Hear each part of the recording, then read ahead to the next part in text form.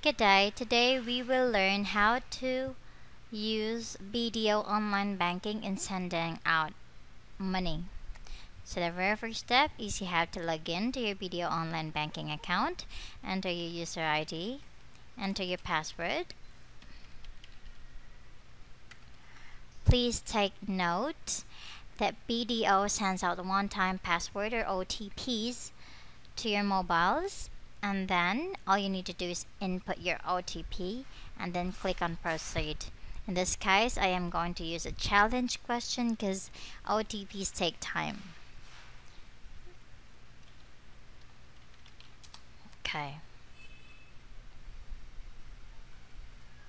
Now we are logged in to our account. So the very next step that you are going to take is to look at the navigate menu of your BDO online banking and then go to the menu send money. When you click on the send money there will be several options that will be presented to you. One is send money for pick up at BDO branch. So this is used when the third party that you are sending money or the receiver does not have any BDO account.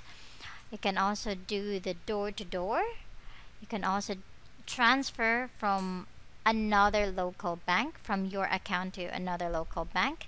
You can send money via wire transfer or if the receiver has a BDO account but is not enrolled in your online banking, you can also do send the person money by using this option. And lastly, you can send money to a pay code. Next, I will be creating a short video on how to send money um, to an unenrolled BDO account. Or if you want to request how to do these steps, let me know and I'll do this for you. Have a good day. Goodbye.